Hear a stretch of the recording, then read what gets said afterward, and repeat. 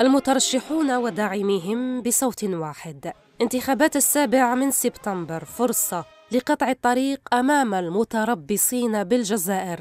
فرصة لصد كافة المحاولات الرامية إلى زعزعة أمنها واستقرارها. الحاجة اللي نأكد عليها يا إخواني أن الشعب لازم يخرج يصوت. علاش؟ البلاد تمر بمرحلة صعيبة. الوضع الإقليمي والدولي وضع صعب جدا.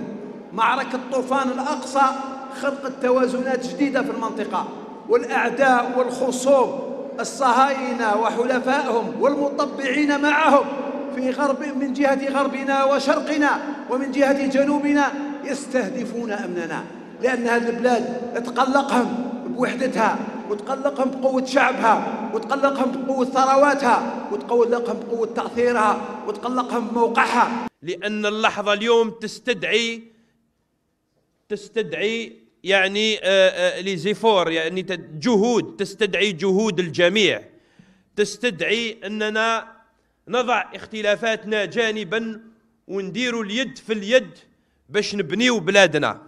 ونبنيو بلادنا على أسس صحيحة. في ظروف استثنائية تجري انتخابات السابع من سبتمبر. ساحل مشتعل حدود ملتهبة الحرب على غزة. يضاف إليها الوضع الاقتصادي العالمي المتأزم. كلها تستلزم تقوية الجبهة الداخلية. فاليوم أملنا كبير. أقولها لكم أملنا أن المواطنات المواطنين أن يعودوا إلى الحياة السياسية أن يشاركوا بكل قوة من أجل إنجاح مشروع الوطن. الشباب اليوم يجب أن يحمل الهمة تاعو كما الهمة تاع الآباء من المجاهدين والشهداء ويكون مخلص في العمل تاعو الوطن ولا يسمع أبدا للأقاويل والقلاقيل التي تأتي منه من هناك. فعلى ما أظن 7 سبتمبر سيكون إن شاء الله محطة أخرى للتحول ومحطة أخرى لدعم الاستقرار والإصلاحات.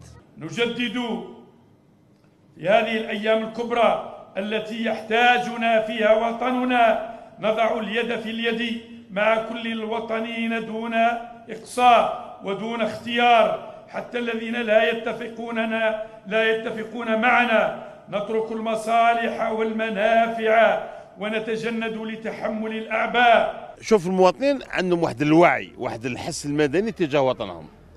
وفاهمين باللي كان تحديات ورهانات تعيشها الجزائر. واعيين ومتيقنين أن يوم 7 سبتمبر هو استحقاق من أجل الجزائر. استحقاقات السابع من سبتمبر مرحلة مفصلية في تاريخ الجزائر. المترشحون وداعميهم يدعون الشعب الجزائري إلى التوجه نحو صناديق الاقتراع والتعبير عن صوتهم بكل حرية.